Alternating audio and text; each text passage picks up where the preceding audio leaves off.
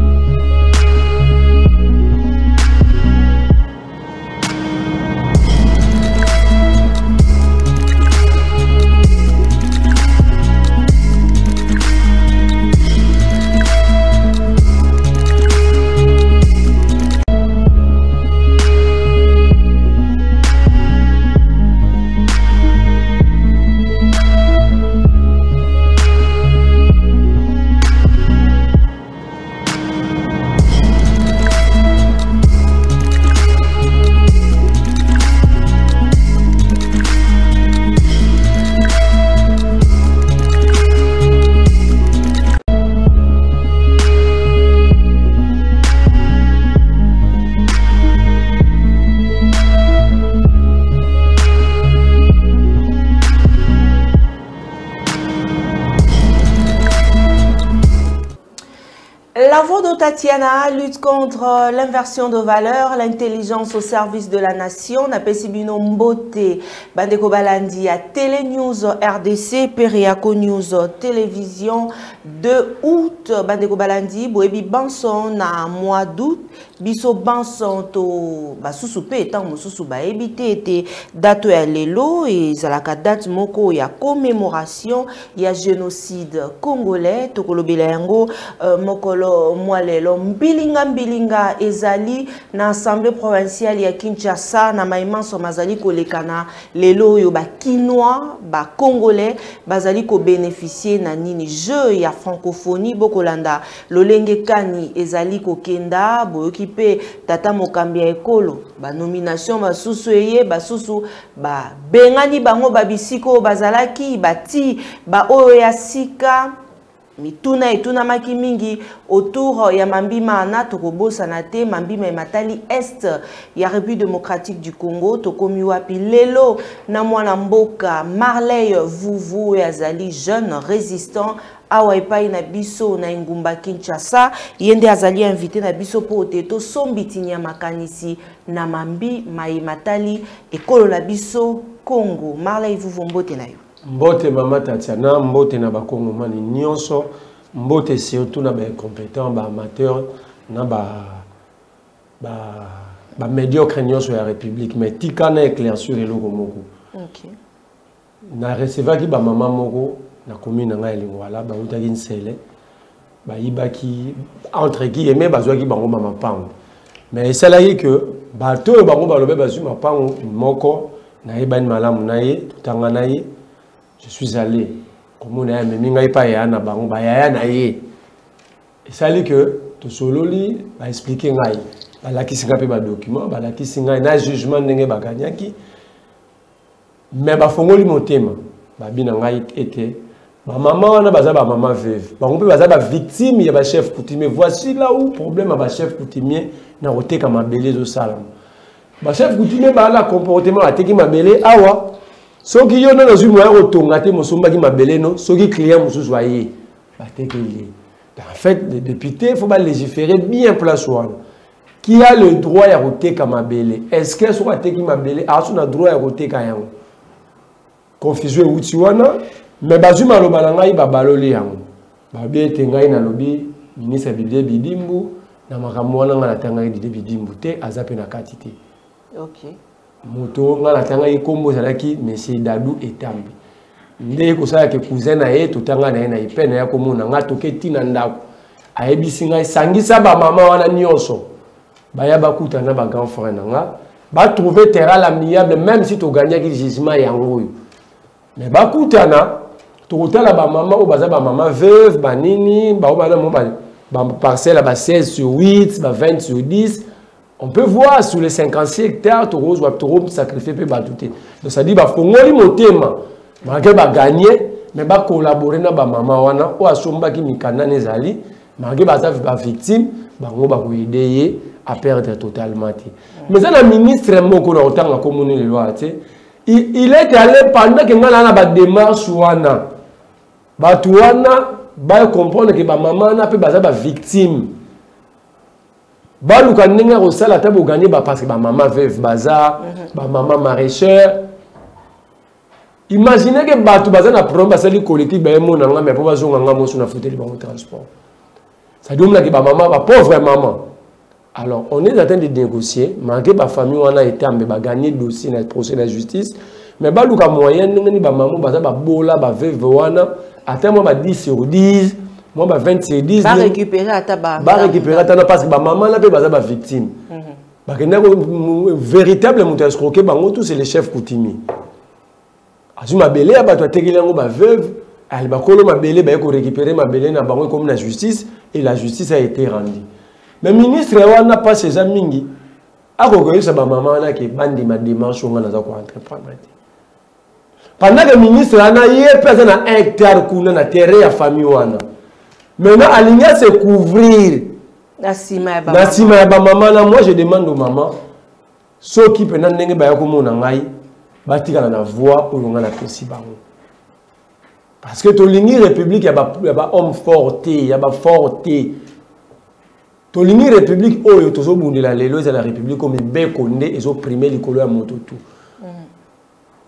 moi je suis en train d'entreprendre des démarches pacifiques pour ba maman na ba perdre te okay. on peut pas accepter que ba maman na ba perdre et surtout que baza ba victime ya escroquerie d'un chef coutumier eza te bato oyo famille oyo etambe moto ya escroke bango eza nde chef coutumier atekeli bango mabele oyo ya bango te oyo aye te ministre wana alingi ye loko azotala hectare na ye mpe tozobunda bamamo basombe mwa ba 26 barécupere ata baluka ndenge akokatela bango ata bandambu ndambu mpo bavivre bazala na place ya kovanda ye alingi amema bango na buzoba wana pour que intérêt na ye prime alors si tu es ministre tu esinike wana mbongo ebele négocie carrément na famille wana osomba mais koyebisa bamama wana ke bondima jugement wana te un ministre moto abimisa wana monoko nde bondima olobi mpe okotanga nkombo ya ministre yango te tokoki mpe koyeba ministre yango te aza ministre na komasa malikomo ndede mamna kolobo aza na ferme na ye kuna ya hectare aza na bangulu eza baministre mibale te ere akolanda komonaka oreagir ayebisi bamama wana ke bandima jugement te oyo eza rende na justice alors si un ministre pousse le peuple de ne pas accepter de ne pas se courber devant un jugement ya justice est ce que ministre wana aza na baaptitude na ye nyonso normal encore donc ministre azotinda bato base révolte contre justice e azoloba ke toza na congo bokozala baperdante wana se bamama hmm. bokoza baperdante mai tokomisi bino mpe bavictorieuse si un ministre a la capacité ya koloba makambo ya boye ya kosala makambo ya boye moi je veux pas ke kombo ya dide bidimbo ekota mpo je ne veux pas aussi kodésoriente bamama wana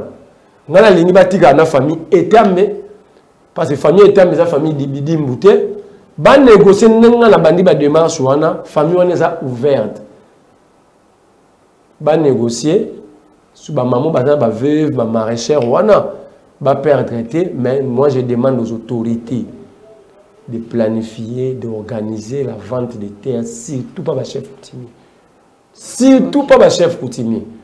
bachef coutumier bakokotekela motu lopa mabele te après un temps bamoni mama tata noye na mbongo bia mbongo mosusu eye batekeli yango lisusu yo en fait baconflit foncier ebele toza na yango ya mosusu ezowutama bachef coutumier baza bagardien de terre mais il commence ya koseme badésordre imagine bamama wana soki lelo bato wana baboyokana na bango ndenge ministre na ntina bato wana decision soki tokoyokana te bamama wana nyonso bakokende wana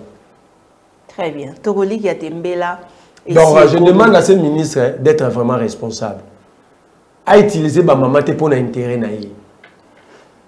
Merci beaucoup. Moi, l'amboka Marley, vous vous tolobela, mambi ma matali dati lelo, les deux ou pour yo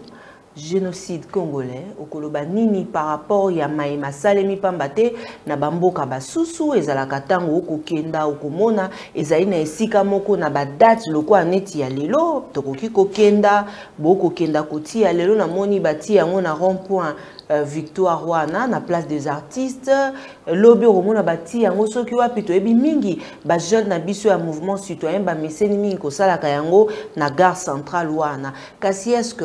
baye bazali kokamba biso lelo ndenge moko bakendaka mpe na barwanda esika oyo kutu oyo bakobundisa biso bayebi te basala oyo ya bango mpo na nini epai na biso ezalaka te mama tatiana ya liboso ya plusieurs forme ya génocide okay. na congo toa meme na génocide sanitaire mm. bato bakokufa mpo bazangi baaspirine eza génocide na mboka oyo bato bayibaka bamilioni ya mboka na mboka oyo bato baa na ba 67 million mpo na francophonie baa na 5 million ya kolesa ba 2500 athlète pendant 10 jours mais bato bakufaka rien ke mpo bazangi aspirine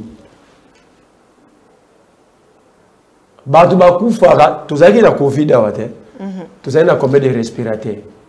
combien de lit ya urgence est ce que baautorité epesa bango leçon mpo babaotonga mbango ba urgence basomba na barespirateur basomba te c'est-à-dire génocide moko sanitaire eza planifie génocide environnemental ta nde tovivaka na bosoto na poubelle na kisasa moto akotambola te alia ata pomme akolia te na pomme ko risque ko masolo eza na polluer toi la génocide intellectuel awa na mboka oyo la gratuité epesi biso badiplome illettré tala ebele Ba diplômé illettré. Eh. Mais l'accent. Mais bato ba keke là c'est mais sans formation. Mm. Parce que la gratuité a détruit la formation, la qualité n'existe plus. Mais la quantité est là. Ça veut dire génocide. Maintenant, le génocide aux Olobela. batonga baselebraka ndenge denis mukwege alobi baselebraka eloko soki ekomi na fin lelo bo célébrer génocide hein, congolais 12 millions est ce que lelo tozala so 12 millions 12 millions bato bakufaka kaka parce que chaque jour on tue chaque jour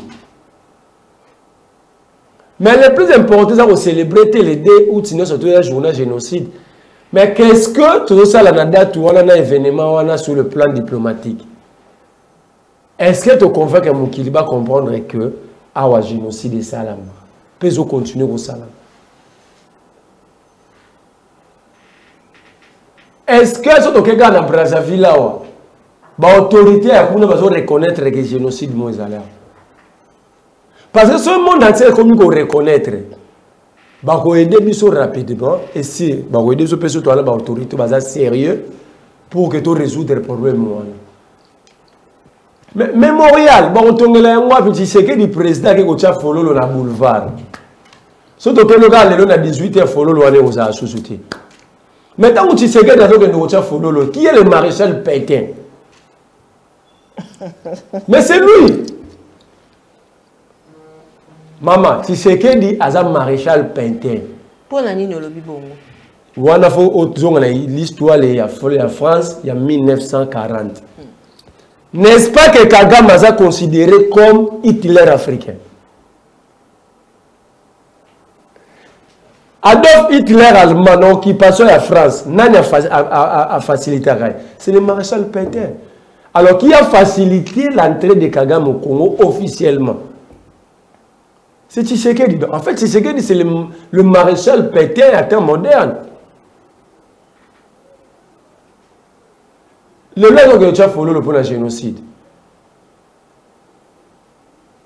mpo bato mpo bilenge balobi bato babeleli fayolo asalisi yango baevenema na chez eside sak mbula nde ye mpe abia te nakende ko nalanda ata nakende kotya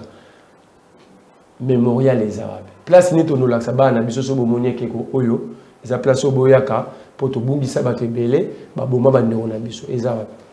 soki ye moko maréchal pentin ake kotya yango na boulevard donc toloba te tobanda koselebwa yango na boulevard kasi fo kotuna ye ayebalaki ndenge nini abima na ndako na ya na boulevard atika fololo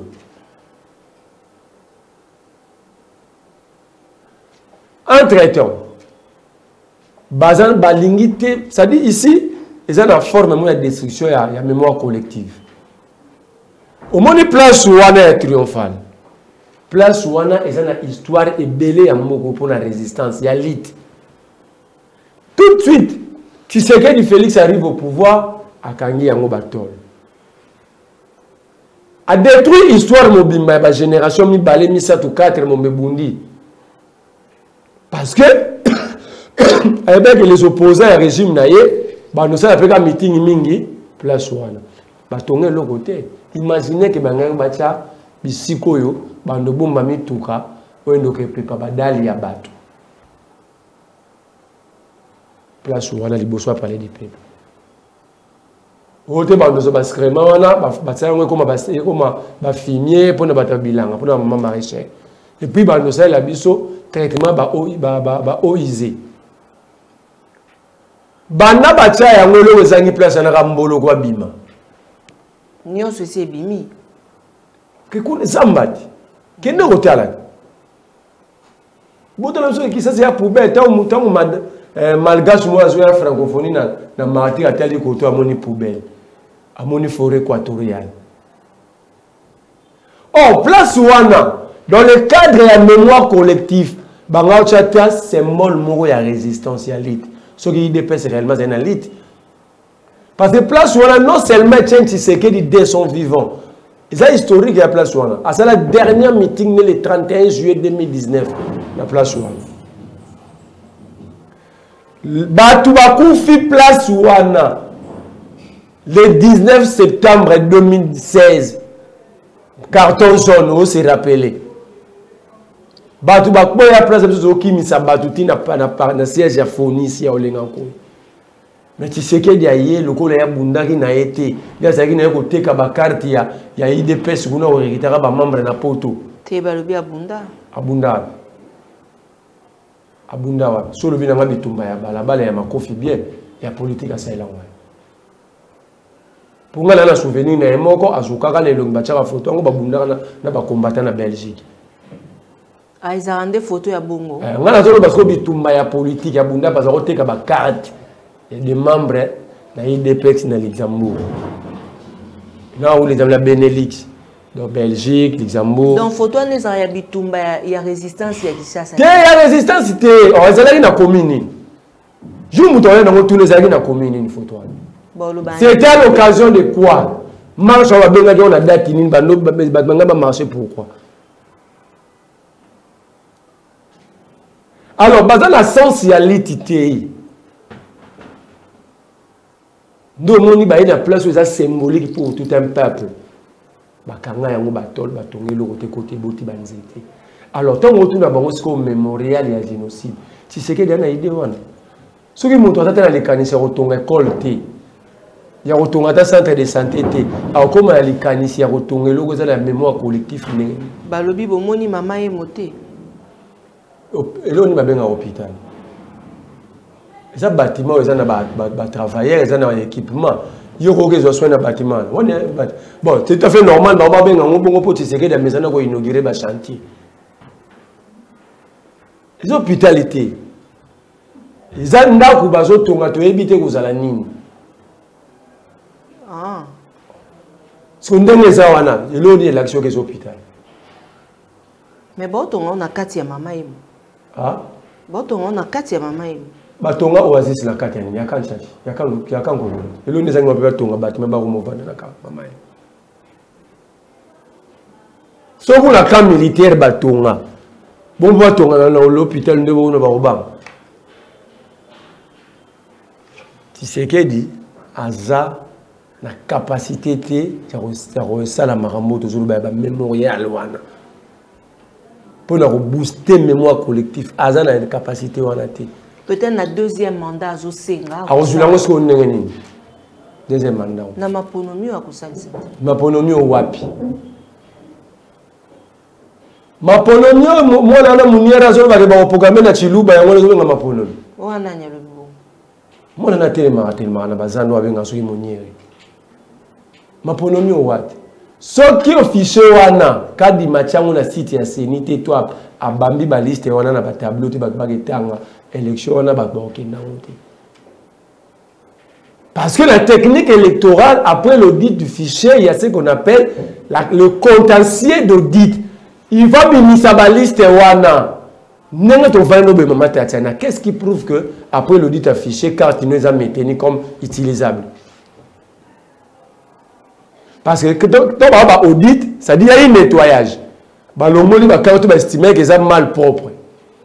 siko nde tovandi na yo awa na yo moto olobi maponomi nanga molabi maponomi wana eza mabe oboya esalama eza te eloko nini olakisa biso mibale ke bakarte na biso eza garde comme utilisable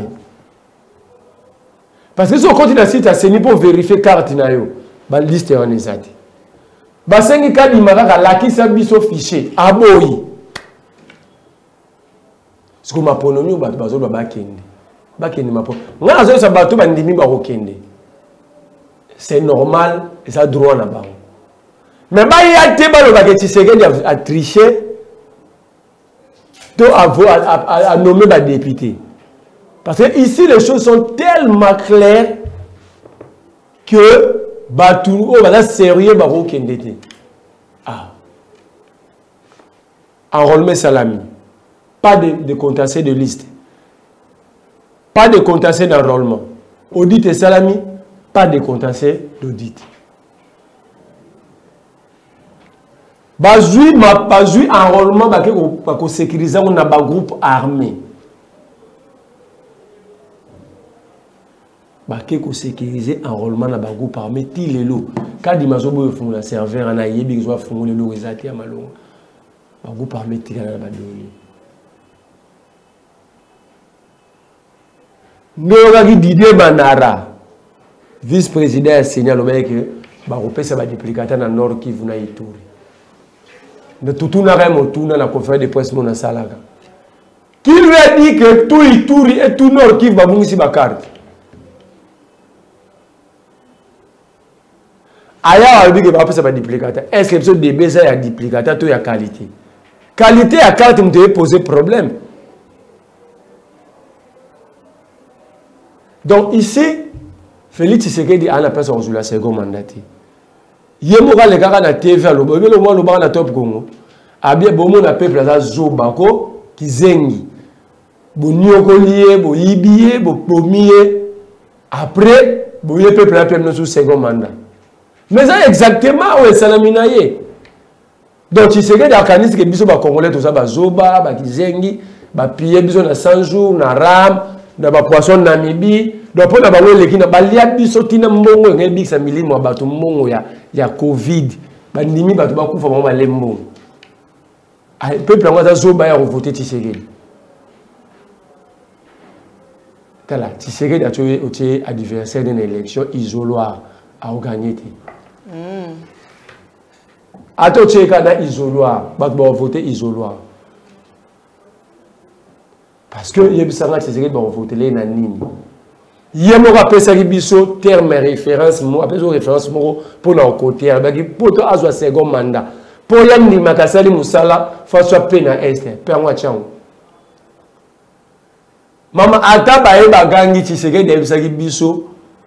poli amona ke aresir il faut azongisa sécurité na est or insécurité traverse est ye kuamutu ekoti kinshasa bakabakaba babimi babig boy babino ça veut dire tshisekedi akozwa second mandat te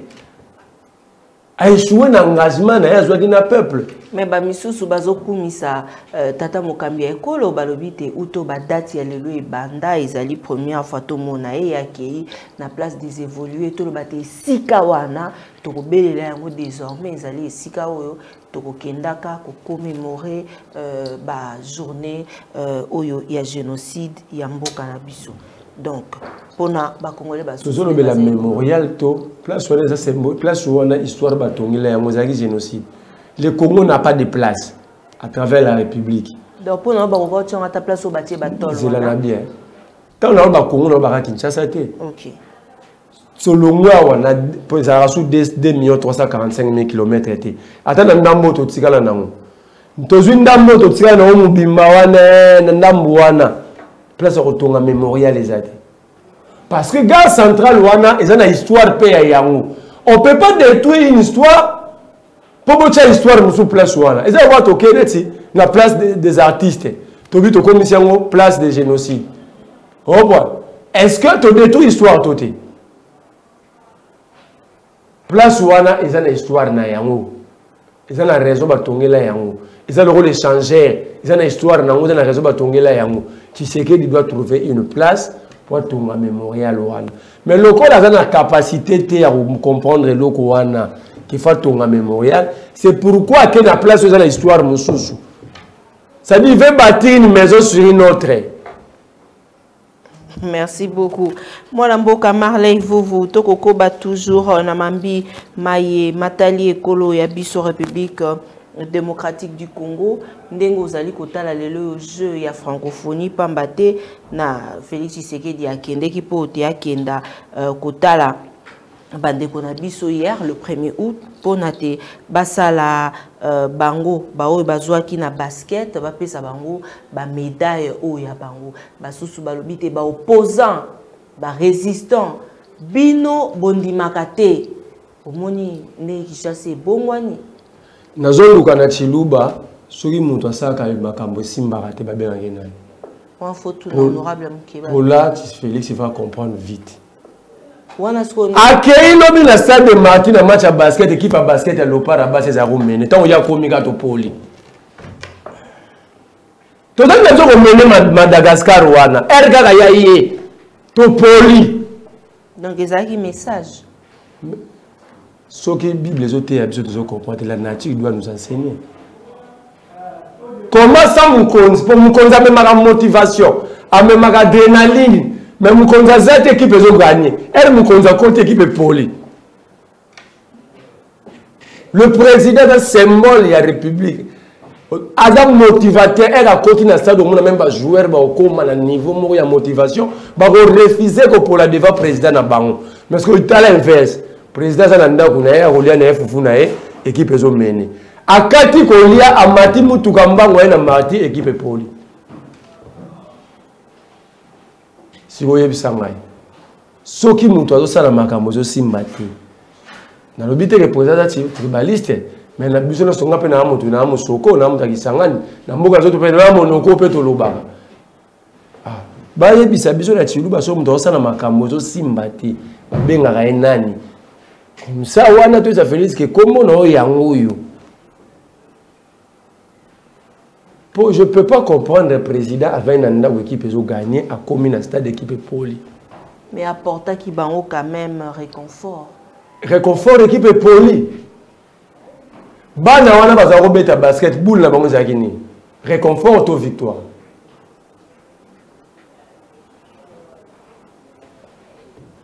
jeu ya francophonie eza mpo na bato balula lisano bato balula jouissance fete mo te bakobetisa baconcert bakosalisa bato maboke bazoliaka liaka batie barestaurant kuna bakoliaka bambisi ya mai bangulu bakotumba régime ya bafete soki adage moko oyebisi biso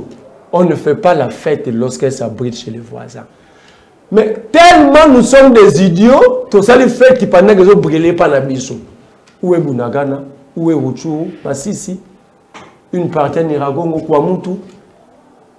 kinshasa ici hier baenleve mwana ya mwasi na yolo nord azali kokende gambela lelo na ntongo bakobenga motu mona avanda ne eh, pembeni wana aza so aza polisi aza commande aza, aza officier bakobenga eke baenleve mwana mosusu ya 23 ans alors comment est ce que bokozala na esengo ya kofete pendant ke mpa na bino moto ezopela vous avez sacrifié le militaire bofuti bango te bosacrifie bapolicier bofuti bango te le fonctionnaire en général examen d'état ya bana ya ebima te ti lelo mpo bato ya kokorige yango bakenda grève bana ya 6e primaire wapi te na faible bofuti bato wana te donc bosacrifie moni aloba ene ebandeli génocide intellectuel vous avez sacrifié même les, les enfants mpo bozwa mbongo bosalisa jeu na mboko baa na 67 million ya kosalisa ja francophonie mais baza na bayoki eluka masango na zambie na fritide ya 20 million tata nini akokondima aboma bana na ye nzala mpo asalisa feti soki tata naza responsable tata nini akokotya bana na ye en insécurité parce que ntango basoda bafutami te bapolisier bafutami bafutami te population akomi na insécurité parce que bato wana bakosala su mosala malamu te conséquence baenlèvement r nyonso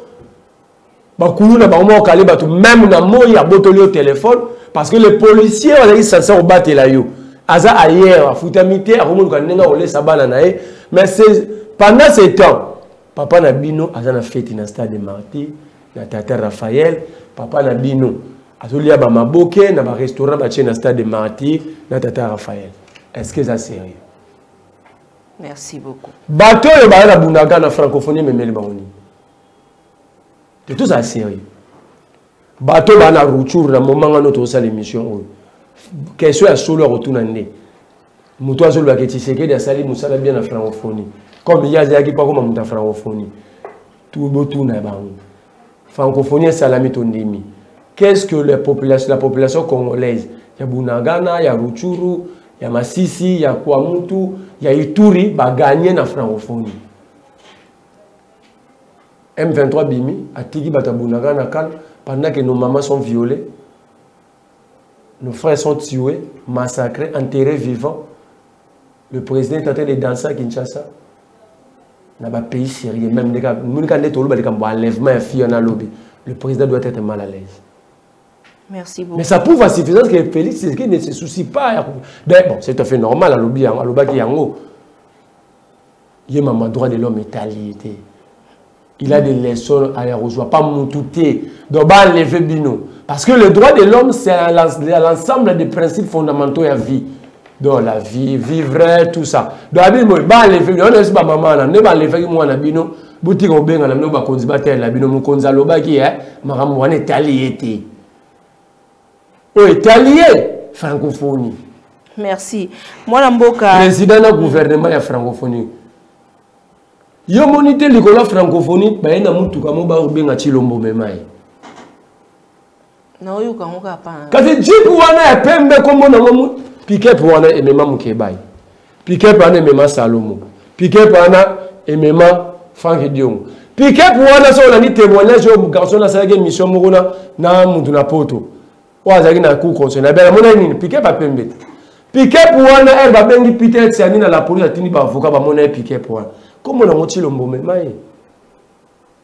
Marley Vuvu, tokoti na dossier ya mambi ma matali bato ya sika président Félix Tshisekedi atiaki ba susu na tangi na info plus RDC balobi te Jean Belou euh, euh, euh, Jean Hervé Mbelou viré Félix Tshisekedi a nommé euh, mokolo ya lobi ati Daniel Lusadi Sukiambi lokola nouveau AG ya agence nationale de renseignement basusu balobi ezali kovire te ezali te a remplacer ezali kaka ye te bato basusu bato balobi ezali mbala ya yambo ne congo na moto ya renseignement ezali eloko moko ya malamu oyo esengeli kolanda yango bongo Point de vue ya bato basusu bakoloba te ezali mpo tata mokambi ya ekolo a remarke ke ba restation ba enlèvement ya bayi opposition ya ba journaliste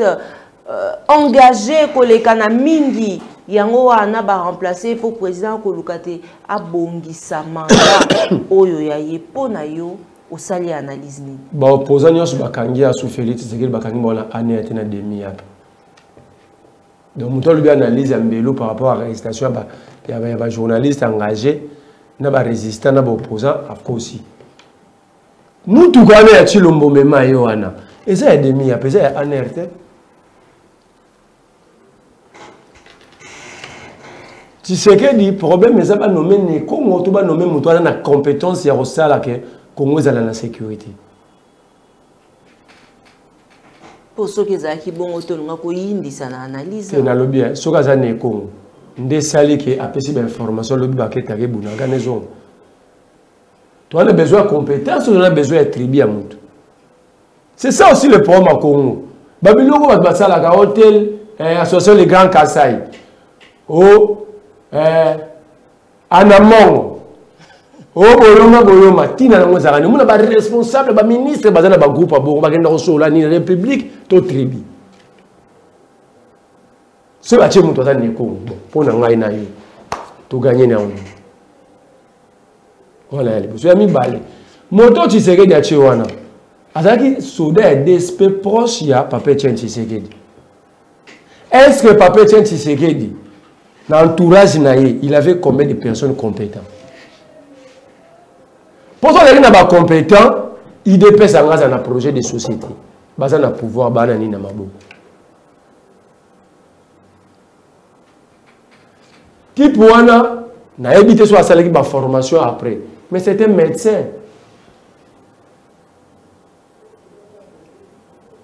nayebi te soki asala baformation mosusu après c'est un médecin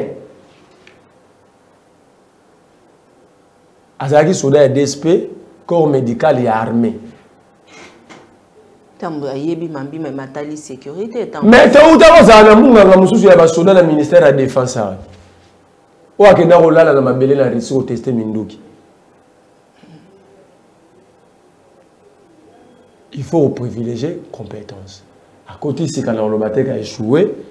tokoevalue ye na mosala oyo ye akosala mais ce qui est vrai tisekedi ne maîtrise pas le secteur à sécurité c'est-à-dire lui-même a la vision moko te na, na secteur wana parce que c'est impossible na 4 ans tisekedi l'ANR a connu 3 age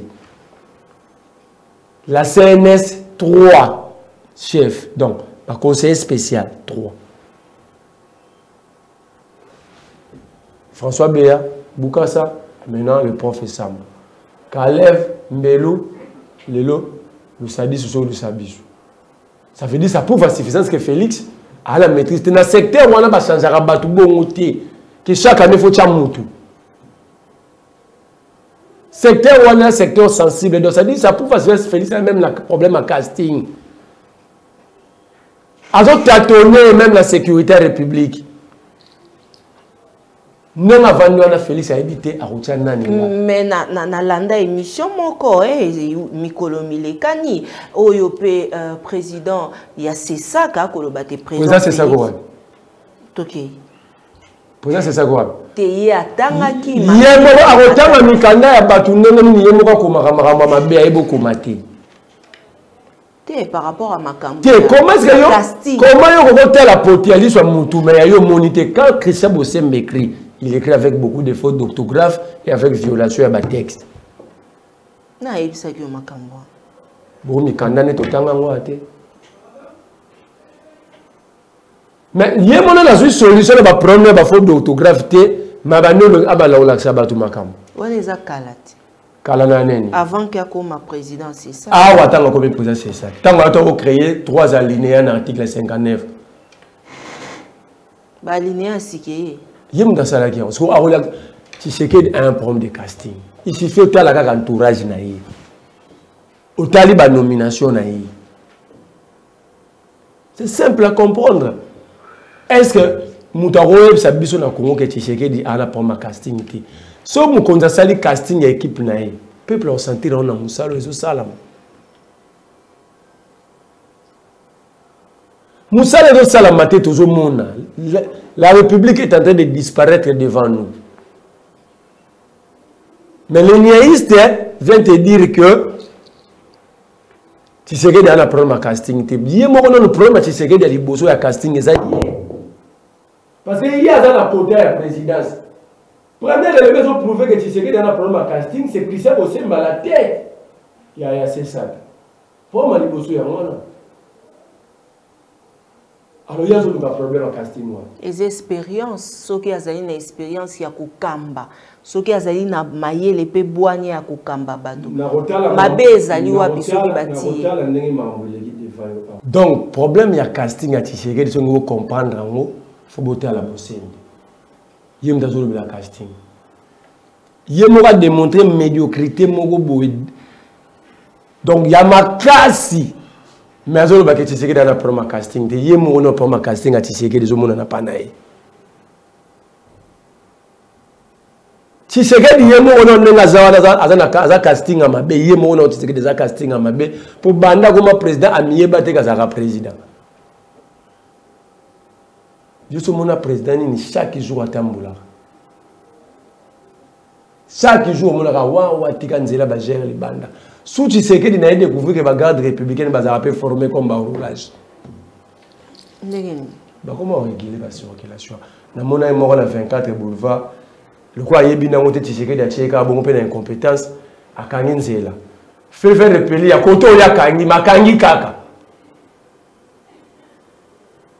ça veut dire ici le problème eza félix bato wana baye wana Bah, s'il y a une politique publique mise en place par le président de la République pour permettre le service Wana de fonctionner. Bah, a la même expertise, mais par rapport à la vision au président Zanango. Quel que soit le bah, expert Nini, si le président n'a pas une vision claire, na secteur wana bakozala kaka boye merci beaucoup mwana mboka marley vuvu tozali kokoba pasteur gode mpoi tobenge président ya assemblée provinciale azalaki dessous est ce que basi bazongisaki ye ezali koyebana te akendeki na sénat epai ya modeste baati lukwebo ye bakendaki mpo te baechange na président ya Sénat autour ya ba questions ya actualité selon article oyo euh, natangaki lelo oyo toloba nini na mai mazali koleka na mbilinga mbilinga ye eh, président bafundaki ye epai ya gouverneur tomoni mpe na ngambo mosusu kuna na udps vice euh, euh, euh, euh, gouverneur bayambaki ye epai ya augustin kabuya na bamilitant ya parti udps mpo te baloba te bazali lisusu na baconfiance bazali mpenza makasi makasi na confiance na moko ya bango jekuku je plaire mon maître mpo mokeba aza maître na ngai nazolela olela ye mpo na nini nayebi te on juge les gens par rapport à l'herbe par rapport au bien matériel ou par rapport au cerveau na moko c'est ici que j'ai compris que mokebe c'est un grand visionnaire un politique averti tout ce que gode mpo azo reproche gentini lelo balakisa nga place moko gode mpo alobi na gentini oyo mokebe atikala koloba te Mukebayi a soulevé mambo ya bâtiment batonga na assemblée provinciale na sima te Mukebayi a soulevé mambo ya banyongo na Freeland te mambo ba mituka ya ba député 70 000 dollars par jeep par bed à jour na sokini te qu'est-ce que Mukebayi n'a pas dit sur la gestion ya ville ya Kinshasa Mais Gode po ya tina batu entre autres ba Pi Gérard ba traita Mukebayi mutu esalaka te na mboka oyo. Mukebayi ayebisanga biya aza lokola a se referaka na Galile. savant wana italien greco italien aza koloba la terre tourne autour du soleil et autour d'elle-même bato batikalaka comprendre te mpona bato ba oh, mais la terre tourne autour d'elle-même nefai ndako na so bande efanda wa olie mambo aza koloba etant que savant ayebaki eza bongo balapida ye e au finish bapesa ye raison tokoma kotanga yango ntina classe aujourd'hui mokeba ya raison Mukeba ayebisaka ngai abi Marley la raison edependaka na nombre ya bato te même si oza yo moko bato baadversaire baza 100 000 si tu seul tu es convaincu que tu as raison tu es dans la vérité telemaka wana aujourd'hui kinois nini akobima aloba ke mokeba ya tort si on était un peuple sérieux tonga totelema toke libere mokeba alors je me pose la question ce monsieur a été arrêté en 2019 pourquoi pourquoi balongola immunité na ye baranda ye vulnérable oyebi ke mokebesi ozali baimmunité nini bake prison oyo te gode mpo ya longola baimmunité ya mokeba ya boya kozongisa yango atika mokeba atika mokeba ye vulnérable alors alors que monsieur wana azalaki na raison biso mpe bakinois lokola tokoma bacentre ya bato tofingi mokebai na kisasu ayebi eloko te mosala na ye tv assemblée provinciale yango wana il vous dit même nalobi na assemblée bakoyoka nga te parce que bango baza na majorité je dis chapeau bas si on avait 5 députés lokola mike mokebai nkoso eli michel cette ville anga asala ndenge esala ata un pas en avant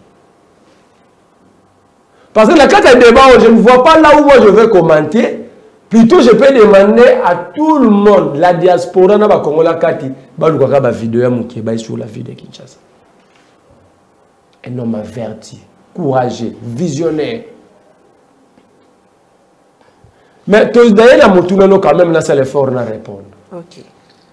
gode poye ye alobi aza pase cestadi die la établi avait établi la établi comme gagneur d'âme ou gagneur d'argent parce que comme l'impression atiki ne mosala ya nzambe akomi oganye na ye mbongo alongwe ganye ya dame bon surtout mpe église yango ezalaka nango na 50 bandimi te ezalaka mwa bagroupe ya bato mo bayaka comment pouvez-vous comprendre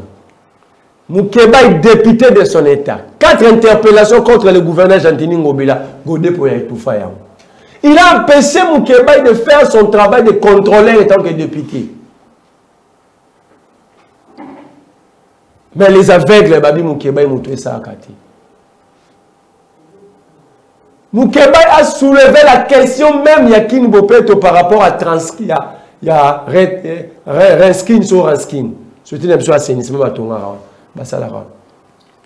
Gode pour yatuna question qu'est-ce que Mukebayi connaît de l'environnement? Aujourd'hui, il soulève la même question.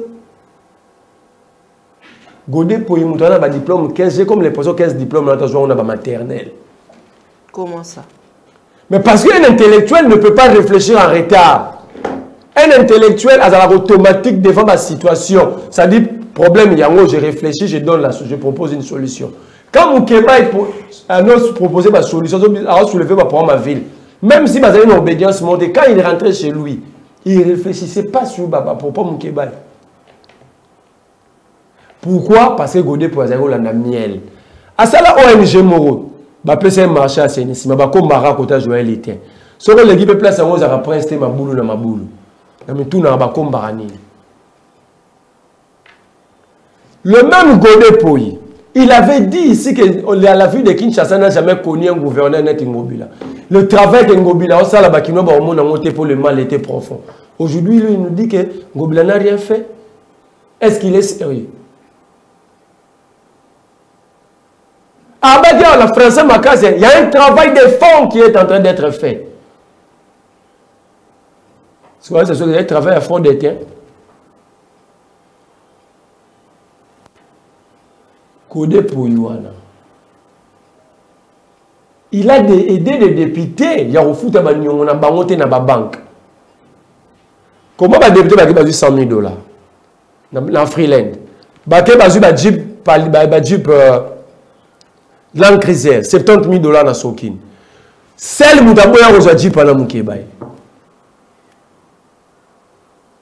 Kebabi, nous n'avons encore rien fait pour les Kinois, mais vous, vous, vous pensez qu'au Jeep. Faux salaire et monument à ma députée les Karawapi. Na, na banque pour banque récupérer ba nyongo net. Godé pour y créer financier na Edi Yeli. Ba mo fouta ba députée na ma boro banque. Nga, na kendaka déjà ko soit émolument ya Mukebai. Na na na bureau d'échange à Edi Yeli. Pour ba ko fouta na intérêt. eh, bade tala je gode po yango moko sala bake badefi mbongo balobi ke bakofuta yango na intérêt donc intérêt eza adefi mbongo akofuta na intérêt 50 pourcent ntango bakopesa akopesa ndenge edi ye lenso 20 pourcent ne 30 pourcent ekei gode po ese permis meme ya kokataka badepute bambongo na bango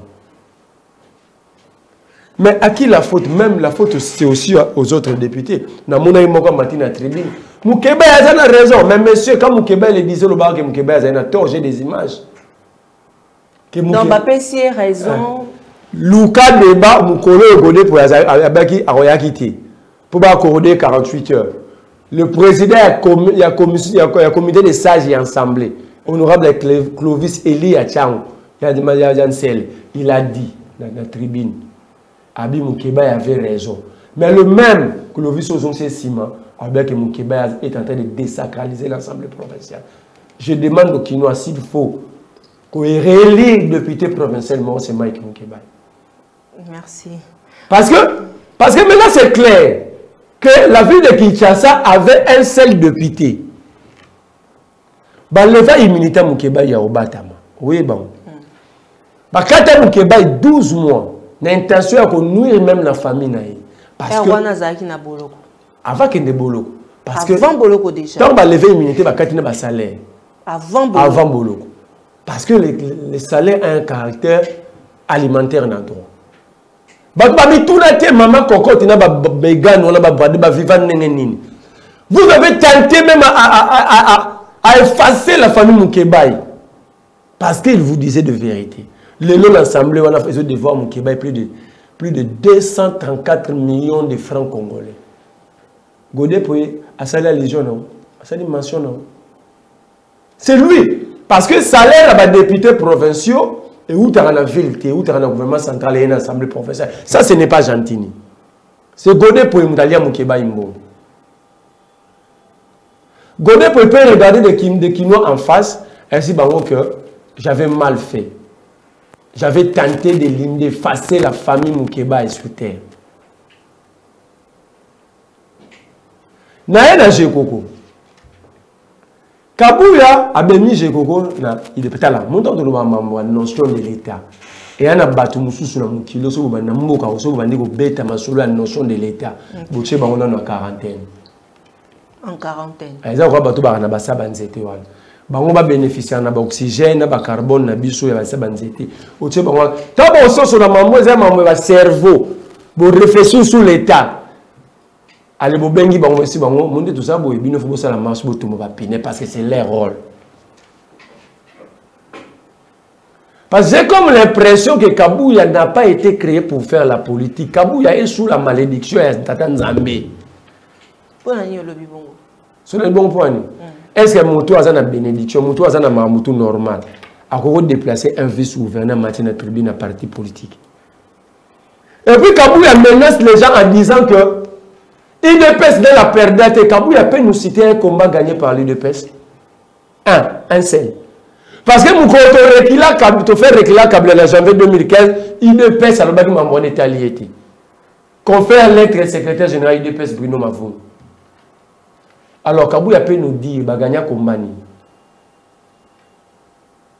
Mais elle a le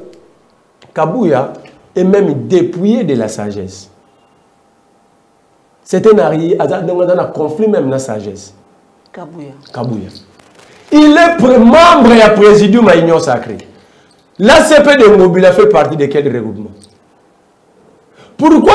obenga ngobila na jekoko te etake bamembre mibale ya union sacré autour ya présidium surtout que la ville de kinshasa eza province moko biroa mais lokola aza na conflit permanent na sagesse akematisa jekoko na tribune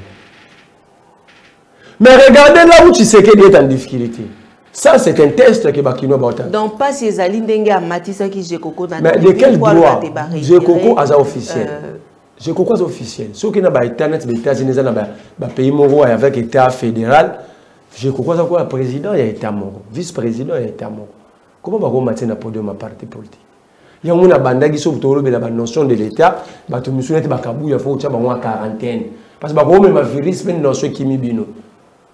wankabuya idps a secrétaire général azaka nde mona badevos kitoko siko eza kwa jekoko babenge pa devos kitoko bamatie na tribune ya eside eza lokola Secrétaire général ya parti ya vol amatisi gouverneur na tribune ya, ya matinée politique na bango omona teke na nabi na yo il est le vice gouverneur ya province donc aza lisusu ya parti aza ya bango te alors na moto amataki kala ve wazeko alobeli omoko wana bato mibale mpo basala eloko moto batambola soit baza mayele excuse mayele moko soit baza buzoba moko kabuya azalaki na mosala na ye azala kosala malamu kotekaka bacarburant na kosalaka bamatch ya imana bino bopesi parti ya bato ya monene bongo baparti ya bato ya mayele ya bapapa mbwakeme ya bangalula panda nzila mpo bato oyo bapesi ye bamoni te azali moto ya moke te lopango wana par makomi bakoma na mireloni ezalaka te soki kabuya na niveau ya kabuya deja ndenge aza aza na conflit na sagesse azoloba ke bacommunicateur oyebi ke bacommunicateur ya idps batie bacandidature te batie bango basuppléant oyo tomona yango bacibambe bana batie bango basuppléant babi baa na niveau te si kabuya ana kapasite ya koloba na bato wana ke baa na niveau te seke bato wana baza ndenge nini parce que kabuya ye moko akomprenaka makambo na matériel didactique sikoyo bozwi ayebisi babato bagangaka baza baintellectuel esi bangoki bana niveau te yango mingi bapostule na bango na compte ya udps te jekoko sikoyo est ce que jekoko mérité d'être le vice gouverneur nous avons dit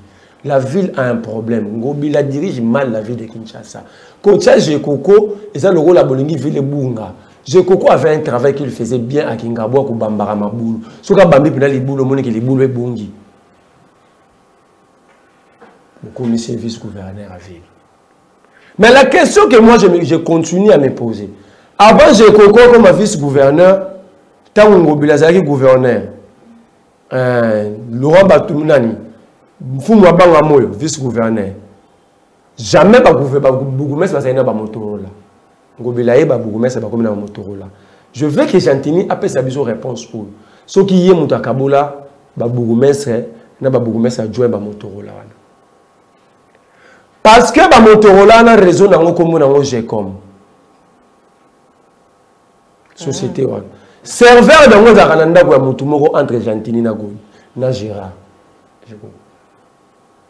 ces gens là sont espionnés à la minute près je crois que vice gouverneur il n'a pas de signature gentini doit des explications j'ai comme wana eza société ya nani agangnaki marché wana na procédure nini koma serveur ya, ya société wana evandaka na ndako ya mutu e grave namoni mikanda e eh, nga godepo yeah. Eh. namoni mikanda akomelaki gentini oyebi ke godepo ya zesprit mabe atie na mikanda oyo ye moko asalakaki ye gode asalakaki bakangelaki matondo alobi ba brada ba taxe ya ville taxe ya spoliation na taxe sur la consommation or ntango abengaka tengelito aza vivant c'était le député motionnaire oyo abengisaki gi matondo egode mpo ayebisa gi matondo eloko wana akanga wana se monsieur guy badeveloppement bachiffre ozosala awa moi aussi je suis un technicien finance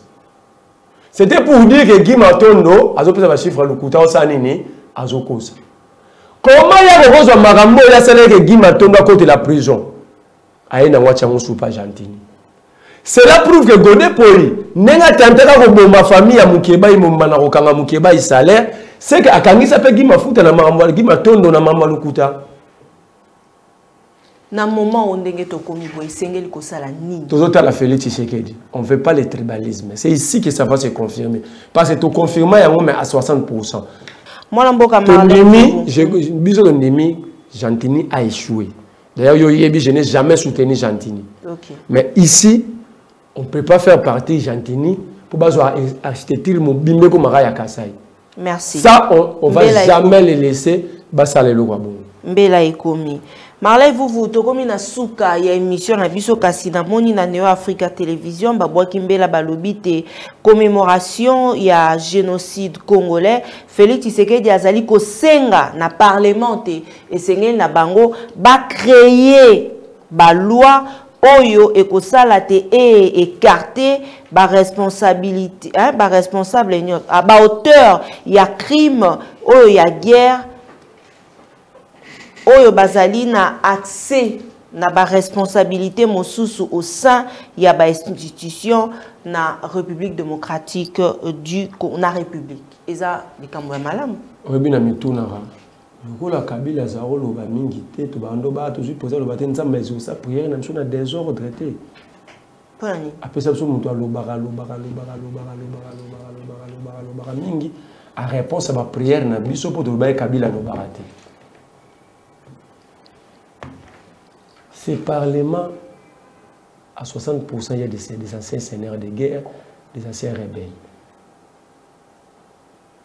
Quand est-ce qu'ils vont penser à faire ça? tokomi na suka matondo mingi na bino banso baye bozalaki bayiki ya kolanda biso merci na réalisation ya deric lukeba jojo komingo ingénieur eric euh, lokole mikael ndeke na bandeko nyonso baye bolandaka mamo tatiana mamo emili nzemba ya tous pepele ya mbetolo mamo likelemba docteur bertin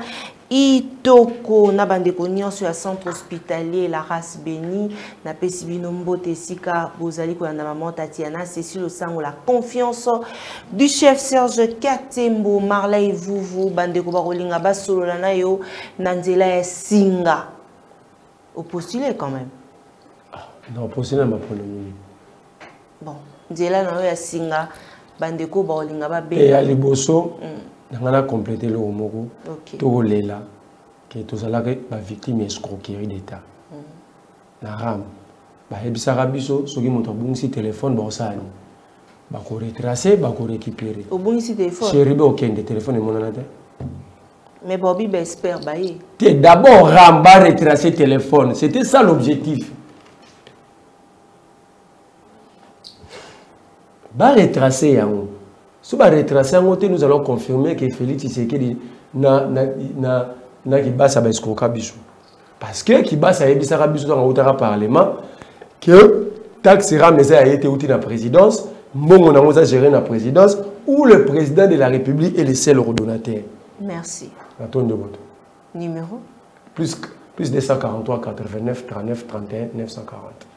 matondo mingi na bacongolais banson baye bozali kolanda biso bosabone massivement sur euh, reaco news télévision mpe télé news euh, rdc sinon mwana mboka marley vuvu patrick lokala euh, peter tiani bazongeli kotambola déjà c'est bon omoni ke état de droit esali eh? état de droit moto akendaka clandestinité te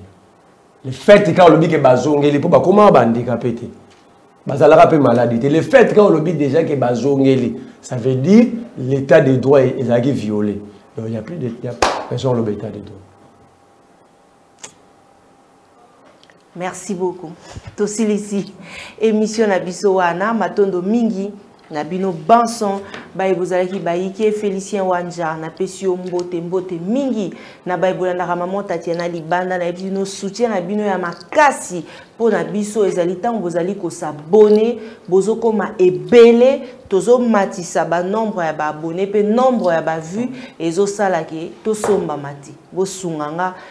tomatisa chaîne oyo tele news rdc tomatisa chaîne oyo reaco news télévision napesi bino banso mbote esika bokolanda biso bandeko nyonso bozali en direct na biso natondi bino botondi courage na mabota ma bino malgré nyonso oyo koleka na